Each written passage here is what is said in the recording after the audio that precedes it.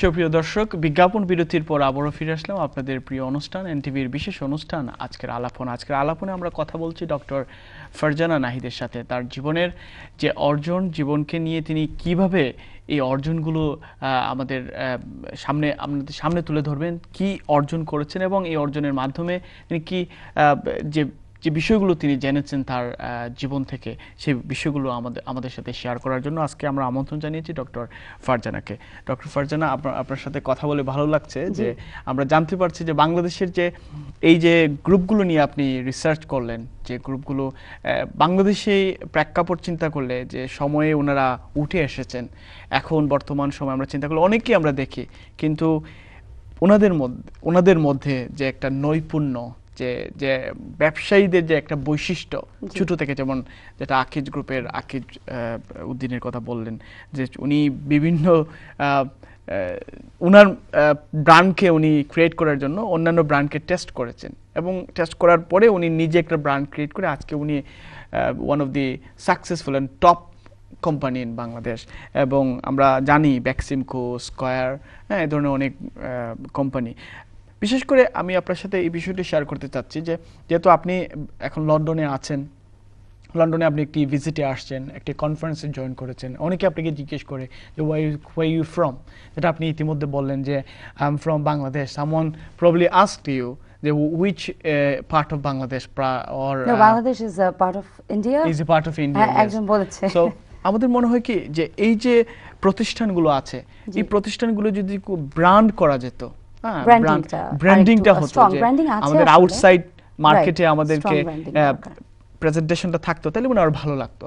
ভালো হইতো আপনার কি মনে হয়? অবশ্যই ব্র্যান্ডিংটা তো অবশ্যই দরকার। আর আরেকটা যেটা আপনাকে বলছিলাম ব্রেকে যে আমাদের ডাইভার্সিফিকেশন মানে এক্সপোর্ট এক্সপোর্ট বাস্কেট যেটাকে আমরা বলি যে আমাদের এক্সপোর্ট বলতে এক্সপোর্ট ওরিয়েন্টেড প্রোডাক্টস বলতে আমরা আসলে গার্মেন্টসটাকেই দেখি আসলে। হাইলাইটেড ওটাই হ্যাঁ। হয়েছে আমাদের গার্মেন্টস প্রোডাক্ট ইজ এভরিওয়্যার আমি এখানে এইচ এন এম এখানে যেখানেই যাচ্ছি আই এম ফিলিং প্রাউড যে আমাদের বাংলাদেশি প্রোডাক্ট আমি খুঁজছি যেটা পছন্দ হচ্ছে আমার কাপড় মেড ইন বাংলাদেশ এবং এবং আপনি জেনে থাকবেন যে ক্রিকেট। ফুটবল যে জার্সিটা বানানো হয়েছে সেটা কিন্তু বাংলাদেশ থেকে। সো এই বাংলাদেশের যে মানে মজুরি সেটা কিন্তু অনেক কম। কিন্তু আমাদের বাংলাদেশের এই গার্মেন্ট শিল্পকে ব্যবহার করে অন্যান্য দেশ লাভবান হচ্ছে। তদ্রুপ শুধু শুধু গার্মেন্ট শিল্প না না, আমি আমাদের গার্মেন্টস বলছিলাম যে গার্মেন্টস ছাড়াও কিন্তু আমাদের আরও ইন্ডাস্ট্রিজ আছে যেগুলো হাইলাইটেড হওয়া highlight হওয়া প্রয়োজন। শিপিং বলেন শিপিং এর নতুন ইলেকট্রনিক্স বলেন ফিশিং বলেন বলেন। ফার্মাসিউটিক্যালস অবশ্যই আমাদের ফার্মাসিউটিক্যালস যে প্রোডাক্টসগুলা এগুলো কিন্তু খুবই মানে মেডিসিন আপনি যদি ফ্যাক্টরিজগুলা কখন আপনার মানে সম্ভব হয় ভিজিট করবেন এই যে স্কোয়ার অ্যান্ড বেক্সিমকো ফার্মা আমি তাদের ফ্যাক্টরি ভিজিট করেছি। মানে দেখার মতো এবং তাদের প্রোডাক্টসগুলা কিন্তু আমার ধারণা কোথাও এখানে হাইলাইটেড হচ্ছে না ঠিক মতো বা এনাফ হচ্ছে না হয়তো। আইটি সেক্টরও তো বাংলাদেশে অবশ্যই IT sector is grooming like anything course অনেক ভালো করছে। আমরা যদিও ইন্ডিয়া মানে ইন্ডিয়ার সাথে কম্পিট করে এখনও ওই পর্যায়ে আসতে পারি না বাট আপনি যদি কম্পেয়ার করেন লাইক এখন ই কমার্স ই কমার্স তো আমাদের এখানে যদিও it's an nascent stage but still আমাদের ফাইভ ইয়ার্স ব্যাক আপনি পাননি এটা। সো দশ বছর আগে ছিল না এখন হচ্ছে।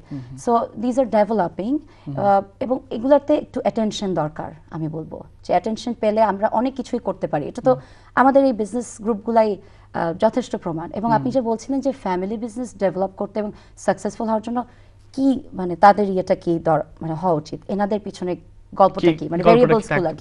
ডেফিনেটলি আমি বলব যে আমাদের সোসাইটি যেটা আমরা যে ফ্যামিলি ওয়াইজ এখনও আমরা বাবা মাকে যে সম্মান করি এটা কিন্তু এখনও আমাদের আছে। এবং যেটাকে আমরা বলি জয়েন্ট ফ্যামিলি কালচার যদি আস্তে আস্তে এটা চলে যাচ্ছে একান্নবর্তী একান্নবর্তী পরিবার এটা কিন্তু একটা one of the main reason যেটার জন্য এই ফ্যামিলি বিজনেসগুলো এখনও ইনট্যাক্ট এবং একটা ফ্যামিলি বিজনেস যখন সাকসেসফুল হয় তাদের মানে ফ্যামিলিকে ইনট্যাক্ট রাখাটা খুব জরুরি বিজনেসটাকে ইনট্যাক্ট রাখা। বিকজ ইটস টুগেদার এবং ফ্যামিলি বিজনেস কি? It's an extension of the family family মেম্বার্সরাই ওটাকে রাখছে। তো ওনারা যারা এটাকে এই জেনারেশনের পর জেনারেশন এটাকে সাস্টেইন করছেন তারা যেরকম বিজনেসে সাকসেসফুল তারা তাদের প্রত্যেকের ফ্যামিলির এটা মোটামুটি আমি জানি যে তারা ফ্যামিলি ওয়াইজ খুবই ইন্ট্যাক্ট তাদের এখনও তারা একই খাওয়ার টেবিলে ওনারা থ্রি ফোর যে যারা যারা বেঁচে আছেন তারা একসাথে খাওয়া দাওয়া করেন। সবার রিলেশনশিপ একেবারে মানে খুবই মানে একেবারে ফাইন টিউন এবং এটা খুব জরুরি। কারণ ওনারা বলেন যে বিজনেস তো আমাদের ফ্যামিলিটাকে রাখার জন্য মানে আমরা আছি দেখি আমাদের বিজনেসটা আছে। তো একসাথে থাকার জন্য তো ওটাকেও রাখা জরুরি। তো বিজনেসের সাথে যেরকম ফ্যামিলি রিলেটেড ফ্যামিলির সাথে বিজনেসটা রিলেটেড এতে এতে সুবিধাটা হয় কি? যেমন ধরেন আমরা এটা চিন্তা করি বা আপনি হয়তো বা চিন্তা করে থাকবেন বিশেষ করে যে এক জায়গায় আমরা কাজ করি আমাদের ফ্যামিলি একটি গ্যাদারিং আছে সো আমাদের আমাদের কাজে ছুটি নিতে হচ্ছে। কিন্তু যদি ফ্যামিলি বিজনেসটাই ওইভাবে গ্যাদারিং করা যায় তাহলে এখানে একটা ডেফিনেটলি একটা সৌন্দর্য থাকে যে একদিন বাবা কাজে গেলেন ছেলে আসলো জেনারেশন টু জেনারেশন এবং family however probably daughter wife combined কিন্তু তারা কিন্তু খুব প্রফেশনাল আপনি যেটা বলছেন যে এখানে এরকম কিন্তু হয় না মানে এনাদের এখানে হয়নি যে বাবা পারেনি ছেলে করছে না। দে আর ভেরি প্রফেশনাল তার মানে একটা এমপ্লয়িকে রাখলে ওনারা যেভাবে বিহেভ করবেন ওনারা কিন্তু এই যে এনাদের গল্প যদি আপনি শুনেন এনারা কিন্তু শুরু করেছেন মানে নিজের ছেলেকে নিয়েছেন ইয়েতে মনোয়ার মনোয়ার হোসেন যিনি ওনারা কিন্তু শুরু করেছেন একেবারে ট্রেনি হিসেবে একজন ট্রেনি যেভাবে নেয় এইভাবে শিখিয়েছেন। আপনি আকিজ যদি বলেন ওনার ছেলেকে উনি প্রথমে ট্রাক হ্যান্ডলিং করতে দিয়েছিলেন মানে ওইভাবে যে ডেলিভারি কীভাবে করা হয়। তো এই যে এই ধরনের এটাকে বলে রিয়েল বিজনেসম্যান তার মানে আমি আমার ছেলেকে শুধু ওই পজিশনে বসানোর জন্য না আমি যেহেতু চাই যে আমার বিজনেস আমার একটা ভিশন আছে যে আমার এই বিজনেসটাকে আমি যেভাবে দেখছি আমার বাচ্চার মতো আমার ছেলে ওটাকে ওভাবেই নিবে। Passing through the generation not only the business but also the entrepreneur skills যে আমার যে স্কিলসগুলো আছে এটা খুব জরুরি যে এই স্কিলগুলো আমার ভিশনগুলো সেম ওয়েতে পাস করবে। সো আমি যেভাবে আমার বিজনেসটাকে আগলায় রাখছি আমার বাচ্চাও সেভাবে। অবশ্যই আপডেটেড হবে টেকনোলজি চেঞ্জ হচ্ছে আমি আরও র্যাশনাল ওয়েতে ফ্লেক্সিবিলিটি থাকবে যে নতুন জিনিস আসবে। কিন্তু হ্যাভিং সেইড দ্যাট যে ওটার ভিতরে মানে এভাবে চিন্তা করা যে র্যাশনাল ওয়েতে এবং বিজনেসের সাথে পার্সোনাল রিজনটাকে ইস্যুসগুলোকে একসাথে না করা এটা খুব জরুরি। যে আমরা অনেক সময় পার্সোনাল ইস্যুস মিলিয়ে ফেলি। যে বিজনেসের মধ্যে এটা তো আমার বাবাই এটা তো আমার বোন। কিন্তু এটা যেহেতু ওনারা করেন না Professionally করেন। handle করেছেন। এই জন্যই এটার জন্যই success rate of course is one of the high, uh, of course. very good uh, জি। example. আপনার কাছ থেকে একটা বিষয় খুব জানতে ইচ্ছে হচ্ছে।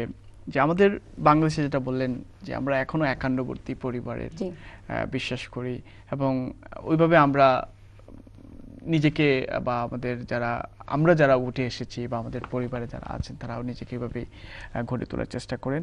বাট একজন ফারজানা নাহিদ থেকে একজন ডক্টর ফারজানা হয়ে ওঠার পেছনে নিশ্চয়ই একজনের ইন্সপায়ারেশন আছে। সো সেটা কি ছিল? অবশ্যই ইন্সপিরেশন আছে। ইন্সপিরেশন ছাড়া তো আসলে জীবনই হয় না। মোটিভেশন ইন্সপিরেশন অবশ্যই। আমি আসলে খুবই ফর্চুনেট বলব কারণ আমি এমন একটা পরিবারে জন্মেছি আমি যদিও সবচেয়ে ছোট চার বোনের মধ্যে সবচেয়ে ছোট খুবই আদরের বাবা মার এবং আমার তিন বোনের। তো অনেক আদরে বড় হয়েছি এবং অনেক অ্যাটেনশন সবচেয়ে বেশি অ্যাটেনশন পেয়েছি। আমার এবং যেটা হয়েছে যে তারপরে যে জীবনসঙ্গী পেয়েছি এটা আমার আমার নিজের পছন্দ করা জীবনসঙ্গী। তো সেটাও সেও আমাকে ইন্সপায়ার করেছে থ্রু আউট হিজ লাইফ এবং আমার স্টোরিটা আসলে ওখান থেকেই শুরু যদি আপনি আমার গল্প শুনতে চান যে হ্যাঁ পড়াশোনা করছিলাম সবই যেরকম একটা নর্মাল যেভাবে হয়। সবসময় প্রিভিলেজড একটা ফ্যামিলিতে ছিলাম সবসময় প্রবলেম বলতে তেমন কিছু বুঝিনি কারণ আমাকে বোঝানোর আগে বাবা মা নিয়ে নিয়েছে প্রবলেমস মানে হয়তো প্রবলেমস ছিল অবশ্যই একটা পরিবারে অনেক কিছু আপস অ্যান্ড ডাউনস থাকে। ডাউনসগুলো কখনো আমার পর্যন্ত আসেনি বাবা মা তারপরে বড় তিন বোন। তো আমার বিয়ে হয়েছে যখন তখন আমি জাস্ট ফার্স্ট ইয়ার আমার টু থাউজেন্ড ওয়ানে বিয়ে হয়েছে আমি তখন টোয়েন্টি ওয়ান ইয়ার্স ওল্ড বিবিএর ফার্স্ট ইয়ারের তো তখন বিয়ের ঠিক এক বছর পরে আমার হাজব্যান্ডের ক্যান্সার ধরা পড়ে। এটা হচ্ছে হজকিন্স লিম্ফোমা এবং থার্ড স্টেজ ক্যান্সার ওটা হচ্ছে হজকিন্সের last stage final stage final stage তো এবং আমি তো বাইশ বছর ছিলাম আমার বয়স ছিল বাইশ আমার হাজব্যান্ডের ছিল উনত্রিশ twenty nine so both of us were too young to you know আর এবং তখন ওই সময় ক্যান্সারটাকে আমরা আসলে ক্যান্সার মানে কি বুঝিনি? সিনেমা ছাড়া আসলে দেখা হয়নি। তো স্বাভাবিক খুবই ঘাবড়ে গেলাম এবং তখন এবং ডক্টর বলেছিল যে ফিফটি ফিফটি চান্স হয়তো বাঁচবে। তো আমি আসলে যেই ফ্যামিলি থেকে এসেছি আমার বাবার থেকে একটা জিনিস শিখেছি যে প্রবলেম আসবেই লাইফে এটা ঠিক। তো আসলে ওটা ঘাবড়ে যেতে নাই। মানে you have to face it somehow have to face it তো আমি যখন প্রথম এটাই হলো আমার জীবনের প্রথম একটা প্রথম প্রথম ধাক্কা। তো তখন আমার বাবাকে আমার বাবাই ছিল মেজর মানে আমার ওয়াল যেখানে গিয়ে আমি ধাক্কাটা খেয়ে বললাম যে আমি তো পারব না। বলল পারবা। এবং আমাকে আমার বাবা সেমেস্টার গ্যাপও দিতে মানে ড্রপ দিতে দেননি। আমি ওটা সেমেস্টার রেখেই আমি ওটাকে চালিয়েছি এবং আমি আমার হাজব্যান্ডের সাথে মুম্বাইতে তার ট্রিটমেন্ট হয়েছে ওখানে কেমোথেরাপি হয়েছে টুয়েলভ সাইকেল এবং তারপরে রেডিয়েশন হয়েছে কারণ তার অনেক অ্যাডভান্স স্টেজ ক্যান্সার ছিল। রেডিয়েশন দিতে গিয়ে একটা মেজর হার্ট অ্যাটাক হয়েছে এবং ওখানে সে মুম্বাইতে ষোলো দিন একটা আইসিইউতে ছিল। আমি ওখানে ছিলাম। তো এই যে স্টেজগুলো পার করেছে এবং তারপরে ওটার পরে কিছুদিন ভালো ছিল বেশ কয়েক বছর কিন্তু তখন ওই যে হার্টটা এফেক্ট হলো এটা আসলে কেমোথেরাপির একটা সাইড এফেক্ট তারপর কি কয়েক বছর ভালো ছিল এবং তারপরে আমার একটা বাচ্চা হলো আমার একটা মেয়ে আছে।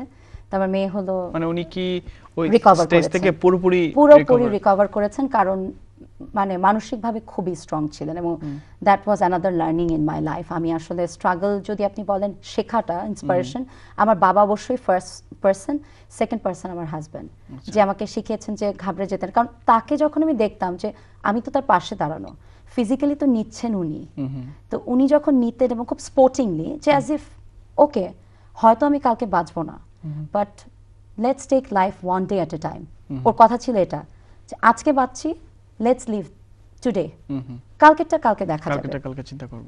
ওখান থেকে আমার শেখাটা ডেভেলপ করল আমি একটু ম্যাচিওর হওয়া শুরু করলাম। এই জন্য আমি বলছি ম্যাচিওর কারণ আগে তো আসলে বুঝিনি। সেখান থেকে আস্তে আস্তে এই জার্নিটা একসাথে ক্রাইসিস অনেক কিছু এবং কেমোথেরাপি এগুলোর অনেক সাইড এফেক্টস থাকে অনেক কিছু। বাট আল্লাহর রহমত যে ও রিকভার করল ফুললি এবং এই জন্য আমার আমি একটা আমার বাচ্চা হলো দু হাজার আটে। এবং ঠিক আমার বাচ্চা হওয়ার এক বছরের মাথায় আরেকটা হার্ট অ্যাটাক হলো আমার হাজব্যান্ডের কারণ ওর হার্টটা তখন আসলে একটু দুর্বল হয়ে গেছিল। সেকেন্ড হার্ট অ্যাটাক হলো এবং তারপরেও ও ভালোই ছিল হেলদি ছিল। তারপর ওর বিজনেসের জন্য এর মধ্যে তো আমি বিবিএ পাশ করলাম এর ভিতরেই। বিবিএ পাশ করলাম আমার এমবিএ শেষ হয়ে গেছিল আমি চাকরিতে ঢুকেছিলাম একটালে কাজ করতাম। আমার মেয়েটা হওয়ার পরে আমি চাকরিটা ছেড়ে দিই কারণ আমার মেয়েকে অ্যাটেনশন দেওয়ার জন্য। কারণ আমার মেয়ে আবার প্রি ম্যাচিউর হয়। সাড়ে সাত মাসে হয়ে গেছিল সো ওর অ্যাটেনশন দরকার ছিল। তারপরে আমার হাজব্যান্ডের সেকেন্ড এই হার্ট অ্যাটাক হলো। তারপর ভালোই ছিল তারপর ওর বিজনেসের পারপাসে আমাদেরকে চলে যেতে হলো মালয়েশিয়া দুই হাজার বারোতে। তো মালয়েশিয়াতে যাওয়ার পর প্রথম দুই তিন বছর চলছিল কিন্তু ওর শরীর তো ওরকম ভাবে ছিল না অত সাপোর্ট করে মানে ওরকম হেলদি ছিল না। ওইভাবে আমি চালছিলাম এবং পিএইচডি শুরু করলাম যখন ঠিক তার ছয় মাস পরে আমার বাবা মারা গেলেন। আহ, ওটা আমার জন্য অনেক আরেকটা বড় ধাক্কা। কারণ আমার বাবাই আমাকে এত বছর পুরোপুরি মেন্টাল সাপোর্টটা যাকে বলে আমি আমার বাবার থেকে পেয়েছিলাম। তো তখন আরেকবার মনে হলো যে মনে হয় পারব না আর উঠে দাঁড়াতে।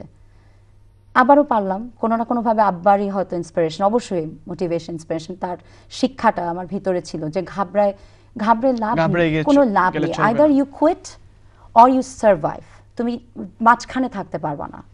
নয় তুমি ফাইট করবা লাইফের সাথে। অথবা কুইট করবা। এবং কুইট করাটা হচ্ছে খুব ইজি একটা ওয়ে লাইফে ছেড়ে দিলাম। হাফ ছেড়ে বেঁচে গেলাম। ধন্যবাদ। আপা আমরা ব্রেকের পরে আপনার কথাগুলো শুনব। ইন্সপায়ারেশন এবং খুবই ইমোশনাল সুপ্রিয় দর্শক আমরা চাচ্ছি আরেকটি বিজ্ঞাপন বিরতিতে। বিজ্ঞাপন বিরতির পর আবার ফিরে আসি আমাদের সাথেই থাকবেন।